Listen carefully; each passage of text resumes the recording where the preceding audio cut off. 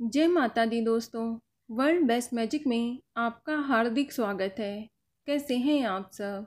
ये बताने के लिए कमेंट बॉक्स में जय माता दी ज़रूर लिखें। दोस्तों, आज हम सुनेंगे सावन सोमवार व्रत की कथा, जो इस प्रकार है। अमरपुर नगर में एक धनी व्यापारी रहता था। दूर दूर तक उसका व्यापार फैला हुआ था। नगर में उस व्यापारी का सभी लोग मान सम्मान करते थे। इतना सब कुछ होने पर भी वह व्यापारी अंतर्मन से बहुत ही दुखी था, क्योंकि उस व्यापारी का कोई भी पुत्र नहीं था। दिन रात उसे एक ही चिंता सताती रहती थी कि उसकी मृत्यु के बाद उसके इतने बड़े व्यापार कौन संभालेगा। पुत्र पाने की इच्छा से वह व्यापारी प्रति सोमवार भगवान शिव जी की व्रत पूजा किया करता था। सायंकाल को व्यापारी शिव मंदिर में जाकर भगवान शिव जी के सामने घी का दीपक जलाया करता था। उस व्यापारी की भक्ति देखकर एक दिन पार्वती जी ने भगवान शिव से कहा कि, हे प्राणनाथ, यह व्यापारी आपका सच्चा भक्त है। कितने दिनों से यह सोमवार का व्रत और पूजा नियमित रूप से कर रहा है। भगवान आप इस व्यापारी की मनोकामना अवश्य ही पूर्ण करें। भगवान शिव ने मुस्कुराते हुए कहा, हे पार्वती, इस संसार में सबको उसके कर्मों के अनुसार ही फल की प्राप्ति होती है। प्राणी जैसा कर्म करते हैं, उन्हें वैसा ही फल प्राप्त होता है। इसके बावजूद पार्वती जी नहीं मानी। उन्होंने आग्रह करते हुए कहा, नहीं प्राणनाथ, आपको इस व्यापारी की इच्छा पूरी करनी ही पड़ेगी। यह आपका अनन्य भक्त है। प्रति सोमवार आपका विधवत व्रत रखता है और पूजा अर्चना के बाद आपको भोग लगाकर एक समय भोजन ग्रहण करता है। आपको इसे पुत्र प्राप्ति का वरदान देना ही होगा। पार्वती का इतना आग्रह देखकर भगवान शिव ने कहा, तुम्हारे आग्रह पर मैं इस व्यापारी को पुत्र प्राप्ति का वरदान देता हूँ, लेकिन इसका पुत्र सोलह वर्ष से अधिक जीवित नहीं रहेगा। उसी रात भगवान शिव ने स्वप्न में उस व्यापारी को दर्शन देकर उसे पुत्र प्राप्ति का वरदान दिया और उसके पुत्र के सोलह वर्ष तक जीवित रहने की बात भी बता दी। भगवान के वरदान से व्यापारी को खुशी तो हुई, लेकिन पुत्र की अल्पायु की चिंता ने उस खुशी को नष्ट कर दिया। व्यापारी पहले की तरह सोमवार का विधवत व्रत करता रहा। कुछ महीने पश्चात उसके घर अति सुंदर पुत्र उत्पन्न हुआ। पुत्र जन्म से व्यापारी के घर में खुशियाँ भर गईं। बहुत धूमधाम से पुत्र जन्म का समारोह मनाया गया। व्यापारी को पुत्र जन्म की अधिक खुशी नहीं हुई, क्योंकि उसे पुत्र की अल्पायु के रहस्य का पता था। ये रहस्य घर में किसी को नहीं मालूम था। विद्वान ब्राह्मणों ने उस पुत्र का नाम अमर रखा। जब अमर बारह वर्ष का हुआ तो शिक्षा के लिए उसे वाराणसी भेजने का निश्चय हुआ। व्यापारी ने अमर के मामा दीपचंद को बुलवाया और कहा कि अमर को शिक्षा प्राप्त करने के लिए वाराणसी छोड़ आओ। अमर अपने मामा के साथ शिक्षा प्राप्त करने के लिए चल दिया।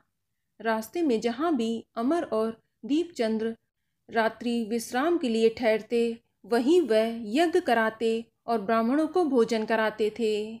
लंबी यात्रा के बाद अमर और दीपचंद्र एक नगर में पहुँचे। उस नगर के राजा की कन्या के, उस नगर के राजा की कन्या के विवाह की खुशी में पूरे नगर को सजाया गया था। निश्चित समय पर बारात आ गई, लेकिन वर का पिता अपने बेटे के एक आँख के काने होने के कारण बहुत ही चिंतित था। उसे इस बात का भय सता रहा था कि राजा को इस बात का पता चलने पर कहीं वह विवाह से इनकार ना कर दें। इससे उनकी बदनामी होगी। वर के पिता ने अमर को देखा तो उसके मस्तिष्क में एक विचार आया। उसने सोचा, क्यों ना इस लड़के को दूल्हा बनाकर राजकुमारी से विवाह करा दूँ? विवाह के बाद इसको धन देकर विदा कर दूँगा और राजकुमारी को अपने नगर में ले आऊँगा। वर के पिता ने इसी संबंध में अमर और दीपचंद से बात की। दीपचंद ने धन मिलने के लालच से वर के पिता की बात को स्वीकार कर लिया। अमर को दूल्हे के वस्त्र पहनाकर राजकुमारी चंद्रिका से विवाह करा दिया गया। राजा ने बहुत सा धन देकर राजकुमारी को विदा किया। अमर जब लौट रहा था तो सच नहीं छुपा सका और उसने राजकुमारी की ओढ़नी पर लिख दिया। राजकुमारी चंद्रिका तुम्हारा विवाह तो मेरे साथ हुआ था। मैं तो वाराणसी में शिक्षा प्राप्त करने जा रहा हूँ। अब तुम्हें जिस नवयुवक की पत्नी बनना पड़ेगा, वह काना है। जब राजकुमारी ने अपनी ओढ़नी पर लिखा हुआ पढ़ा तो उसने काने लड़के के साथ जाने से इनकार कर दिया। राजा ने सब बातें जानकर राजकुमारी को महल में ही रख लिया। उधर अमर अपने मामा दीपचंद के साथ वाराणसी पहुँच गया। अमर ने गुरुकुल में पढ़ना शुरू कर दिया। जब अमर की आयु सोलह वर्ष पूरी हुई तो उसने एक यज्ञ किया। यज्ञ समाप्त होने पर ब्राह्मणों को भोजन कराया और खूब अन्न वस्त्र दान किए। रात को अमर अपने शयन कक्ष में सो गया। शिव के वरदान के अनुसार शयनावस्था में ही अमर के प्राण पखेरु उड़ गए। सूर्योदय पर मामा अमर को मृत देखकर रोने पीटने लगा। आसपास के लोग भी एकत्र होकर दुख प्रकट करने लगे। मामा के रोने, विलाप करने के स्वर समीप से गुजरते हुए भगवान शिव और माता पार्वती ने भी सुन लिए। पार्वती जी ने भगवान से कहा कि, हे प्राणनाथ, मुझसे इसके रोने के स्वर सहन नहीं हो रहे हैं। आप इस व्यक्ति के कष्ट अवश्य ही दूर करें। भगवान शिव ने पार्वती जी के साथ अदृश्य रूप में समीप जाकर अमर को देखा तो पार्वती जी से बोले कि, हे पार्वती, ये तो उसी व्यापारी का पुत्र है। मैंने इसे सोलह वर्ष की आयु का वरदान दिया था। इसकी आयु तो पूरी हो गई। पार्वती जी ने फिर भगवान शिव से निवेदन किया कि, हे प्राणनाथ, आप इस लड़के को जीवित करें। नहीं तो इसके माता पिता पुत्र की मृत्यु के कारण रो रो कर अपने प्राणों को त्याग देंगे। इस लड़के का पिता तो आपका परम भक्त है।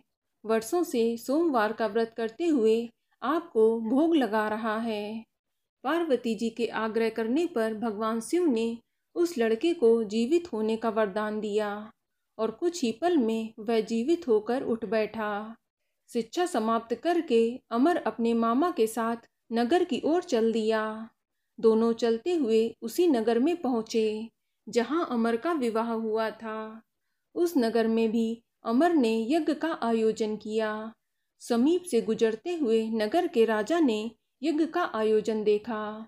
राजा ने अमर को तुरंत पहचान लिया। यज्ञ समाप्त होने पर राजा अमर और उसके मामा को महल में ले गया और कुछ दिनों महल में रखकर बहुत सारा धन, वस्त्र देकर राजकुमारी के साथ विदा कर दिया। रास्ते में सुरक्षा के लिए राजा ने बहुत से सैनिकों को भी साथ भेजा। दीपचंद ने नगर में पहुँचते ही एक दूत को घर भेजकर अपने आगमन की सूचना भेजी। अपने बेटे अमर के जीवित वापस लौटने की सूचना से व्यापारी बहुत प्रसन्न हुआ। व्यापारी ने अपनी पत्नी के साथ स्वयं को एक कमरे में बंद करके रखा था। भूखे प्यासे रहकर व्यापारी और उसकी पत्नी बेटे की प्रतीक्षा कर रहे थे। उन्होंने प्रतिज्ञा कर रखी थी कि यदि उन्हें अपने बेटे की मृत्यु का समाचार मिला तो वह दोनों अपने प्राण त्याग देंगे।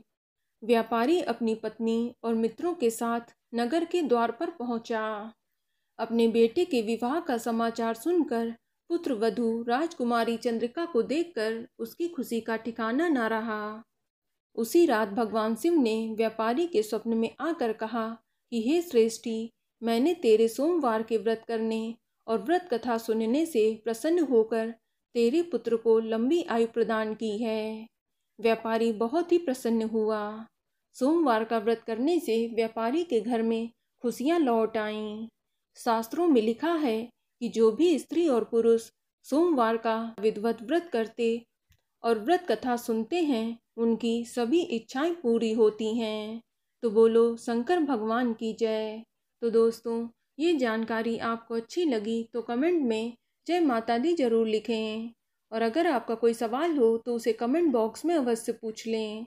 और इस वीडियो को लाइक करें, शेयर करें और साथ ही साथ चैनल को सब्सक्राइब करें। धन्यवाद।